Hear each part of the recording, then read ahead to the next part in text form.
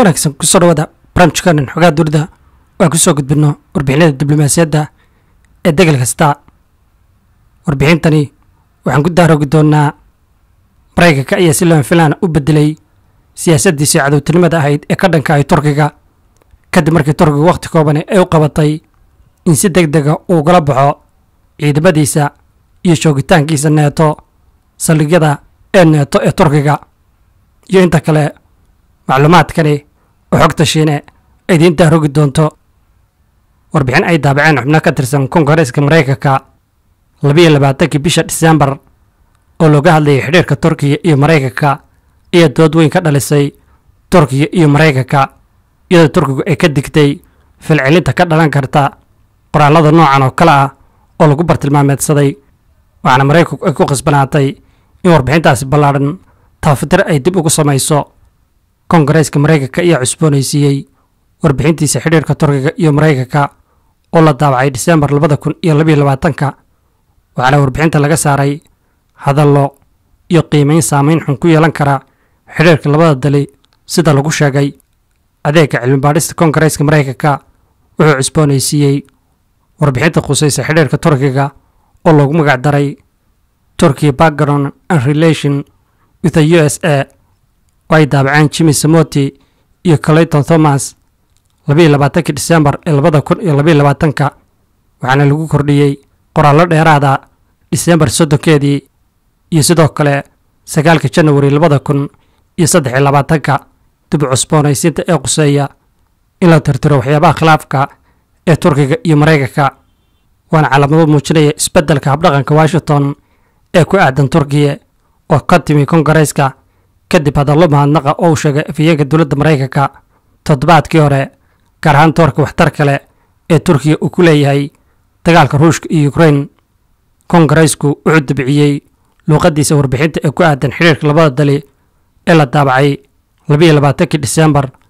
waxaana dib loo daabacay warbixinta iyadoo meesha laga saaray qaar ka mid a tafaasiil ku saabsan arrimaha dhibka badan ee labada dali qaar ka mid a odhahyada hore ee warbixintii hore lagu daray ee laga saaray dib eegidda dambe waxaa ka mid ahaa xukunka erdogan iyo dhibaatada lacagta ee turkiya oo hordhac u ahaa warbixinta hore ee kongareeska maraykanka sidoo kale qaar ka mid a nuxurka ee warbixinta labiyo labaatankii disembar ee dib eegidda xidhiirka maraykanka iyo turkiga waxaa ka mid ahaa iyadoo waddanku u wajahay sicid barar weyn labadii kun iyo labiyo labaatankii bangiga dhexe ee turkigu wuxuu ku cadaadiyey bangiyadiisa inuu hoos u dhigo qiimaha hibada weerahaasi oo laga saaray dib u eegista dambe ee sagaalkii janawari warbixinta xidhiirka maraykanka iyo turkiya taa beddelkeeda waxaa lagu daray in korukaca sicid bararka iyo sarifka laga yaabo in qayb ahaan ay sabab u tahay siyaasada aan caadiga ahayn ee erdogan ee ilaalinta heerka dulsaarka mid hooseeya qaar ka mida goobjoogayaasha ayaa ka doodaya in doorasho xor iyo xalaala uu qaban karo erdogan ama in qaar ka mida taageerayaashiisa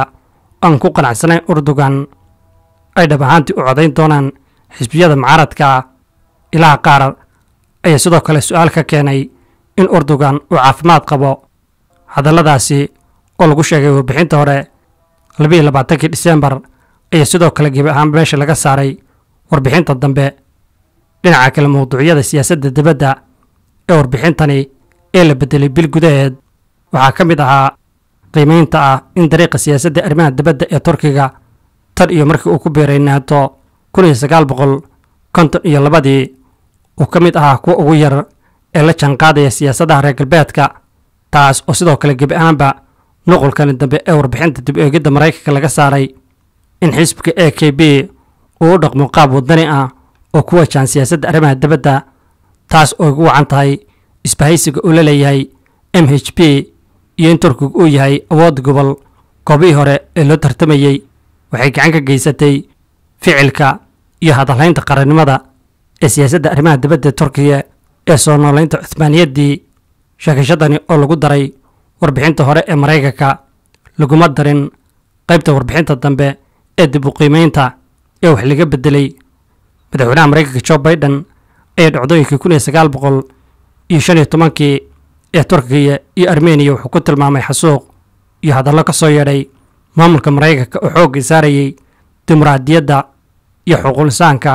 iyo sharciga ee dalka turkiya koorsada siyaasadda arrimaha dibadda ee mustaqbalka ee turkiya waxay ku xidhnaan doontaa qayb ahaan siday u dareemayaan culayska ee madaxda turkiya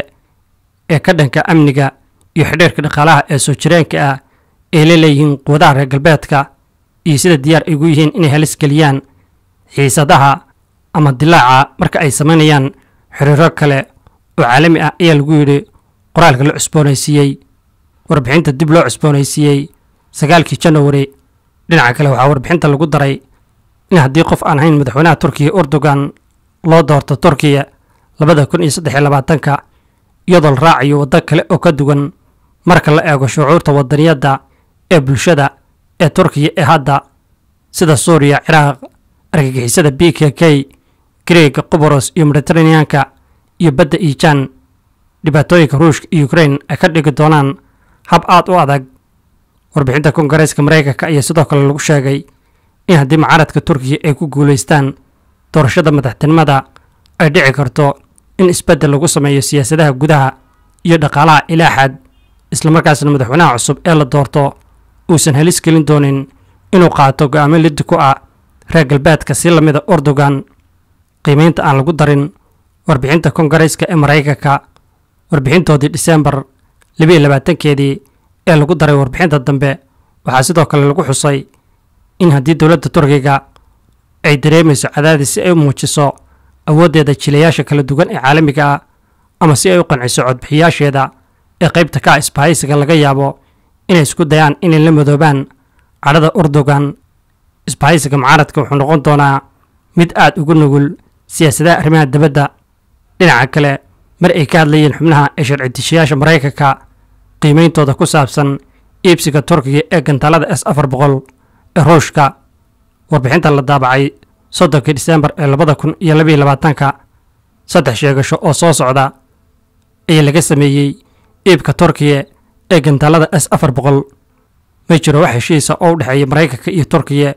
oo ku saabsan wadaagista teknolojiyada ee difaaca batriyootiga oo laga yaabo in maraykanku u tixgeliyo fursadaha kale ee difaaca hawada. Ayaa lagu yidhi warbixinta ee xubnaha koongareyska oo ay ku jiraan siday sheegeen isku day oo fashilmay turkiya si uu u iibsado nidaamka difaaca hawada ee shiinaha laga soo bilaabo labadii kun iyo saddex iyo tobankii ilaa iyo shan iyo tobankii waxaana dantiisa u arkay s afar boqol ayaa lagu xusay warbixinta. Warbixinta xubnaha koongareeska maraykanka ee ka hadlaysa warbixinta xidhiirka turkiya iyo maraykanka oo sidoo kale isku dayeysa in weji ay u samayso sababaha ee turkiga u iibsaday nidaamka difaaca s afar boqol ee ruushka. Waxaa lagu yidhi qodobada kale ee laga yaabo in door ay ku lahaayeen go'aanka turkiga uu ku iibsaday gantaalada ruushka s afar boqol halkii uu ka iibsan lahaa batriyootiga ee maraykanka mid ka mid a kuwani waa rabitaanka cad ee turkiya si uu kala saaro saadkiisa hubka shisheeyaha mid kale ayaa ah danaha suurtagalka ah ee madaxweynaha turkiya erdogan inay ka difaacaan diyaaradaha maraykanka sida kuwa ay adeegsadeen qaar ka mid a ciidamada turkiya iskudaygii afgembiga ee dhicisoobay labadii kun iyo lix iyo tobankii warbixinta la cusboonaysiiyey sagaalkii janawari dhammaan qaybahani ee laga saaray qoraalka. Waxaa ka mid ah warbixinta disembar labiiyo labaatankeeda labada kun iyo labiiyo labaatanka oo ka hadlaysay codsiga ee turkiya ee diyaaradaha f sixteen iyo diidmada koongareyska waxaana si koobani loogu sheegay cusboonaysiinta janawari sagaalkeedii qiimaha turkiga ee neeto iyo muhiimadda ay u leedahay turkiga amniga yurub marka loo eego dagaalka ruushka iyo ukrain warbixinta maraykanka ee la cusboonaysiiyey waxaa hadallada lagu sheegay ka mid ahaa qiimeynta wasaaradda arrimaha dibadda ee maraykanka ay ku sheegtay in turkiga uu yahay qayb muhiim u ah marka loo eego taageerada uu siinayo ukrain inkastoo koongareyska uu diidan yahay qiimeynta ku saabsan mustaqbalka xidhiirka maraykanka iyo turkiya warbixinta disembar labiiyo labaatankeedii ilaa iyo soddonkeedii qaybta ciwaankeedu oo u ahaa qiimeynta istaraatiijiyadeed ee maraykanka iyo neeto waxay ku talisay in maraykanku uu kordhiyo joogitaankiisa militari ee meelaha ay ka mid yihiin jordan greega qubaros gareega romaniya oo beddel u ah saldhigga neeto ee turkiya ee insaraleg haddii ay dhacdo korarka xiisadda turkiya iyo reer galbeedka qiimeyntani ayaa laga saaray qoraalka la cusboonaysiiyey. Taasi ladigeeda waxaa lagu sheegay in turkiya uu cambaareeyey duulaanka ruush uu ku qaaday dagaalka yukrain islamarkaasna uu xidhay cidhifyada maraakiibta dagaalka ruushku ay adeegsanayeen badda madow iyo diidmada turkiya ee sheegashada qayb ka mid ah yukrain waxaana intaa lagu daray in islamarkaasi turkiga uu ciidanka yukrain geeyey diyaaradaha aan duuliya lahayn iyo baabuurta gaashaaman iyadoo warbixinta diseembar aysan xusin doorka turkiya ee fiinland iyo swidhen ku biiristooda neeto warbixinta la cusboonaysiiyey kumaysan darin sidoo kale muranka qubaros iyo beeraha kaarboonnada ee beriga mediteraneanka intaa waxaa dheer warbixintii diseembar ee ahayd qiimeynta ku saabsan fursadaha maraykanka ee xidhiirka mustaqbalka iyo turkiya ayaa sidoo kale gebi ahaan laga saaray warbixinta dambe. Tallaabo kale oo turkigu ay ku tilmaantay faragelin oo la sameeyey warbixinta diseembar ee maraykanka waxay ahayd soo saarista tafaasiil ku saabsan isbahaysiga lixda xisbi ee mucaaradka ah odhahyada ah in xisbiga c h b iyo xisbiyadda mucaaradka qaarkood ay dejiyeen madal mucaarada oo ballaadhan si ay u xoojiyaan saameyntooda ay ku leeyihiin sharci dejinta fulinta iyo garsoorka ee doorashada guud ee labada kun iyo saddex labaatanka ay ku jiraan axmed daa'uud ooglo oo horey uga soo shaqeeyey dowladda xisbiga ee e k ee hogaamiyey ordogan ayaa lagu daray warbixinta la cusboonaysiiyey warbixintani dhanka horumarka siyaasadaha gudaha ee turkiya digniinta ka soo baxday madaxweynaha turkiya erdogan ee ahayd in safiirada reer galbeedka ee taageeray baaqii maxkamadda xuquuqul insaanka ee yurub ay ku daboolayaan in la sii daayo cusmaan kafala in lagu dhawaaqi doono turkiya inay yihiin dad aan loo baahnayn ayaa lagu daray warbixinta la cusboonaysiiyey ee xubnaha koongareyska dhanka siyaasadaha gudaha ee turkiya waxaa sidoo kale lagu sheegay erdogan oo taageero weyn ka haysta shacabka ayaa ku doodaya in dhadhaqaaqa faatax guulan uu soo abaabulay iskudayga afgembiga ee lagu dilay in ka badan laba boqol iyo konton qof. Kubnaan kalena lagu dhaawacay ciidamada iyo muwaadiniinta daacadda u ah dowladda ee madaxweyne erdogan qaar ka mida mucaaradka caanka ee turkiya ayaa ku eedeeyey erdogan inuu u qorsheeyey iskudayga afgembiga ee dhicisoobay si u caburiyo mucaaradka uu xoojiyo awooddiisa. Dhinaca kale waxaa xiise lahayd in warbixinta hore ee xubnaha koongareeska maraykanka ee dib eegidda xidhiirka turkiya iyo maraykanka si gaara loogu xusay codsiga loo gudbiyey maxkamadda dastuuriga ah ee turkiya xisbiga h d b in la xidho sababo la xidhiidha xiriirka uu la leeyahay ururka argagixisada ee b k k iyo falcelinta maamulka maraykanka ee arrintani uu ka bixiyey warbixinta la cusboonaysiiyey. Qaybtan aan kor ku xusnay waa laga saaray waxaana lagu yidhi dhega kale mas'uuliyiinta turkiya waxay sii wadaan dadaalka aan kala go' lahayn ee ka dhana argagixisada b k k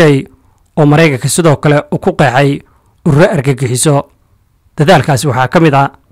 howlgallada milatari ee turkiya ee lagu beegsanayo b k k iyo ururada xidhiirka leleh ee ku sugan ciraaq iyo suuriya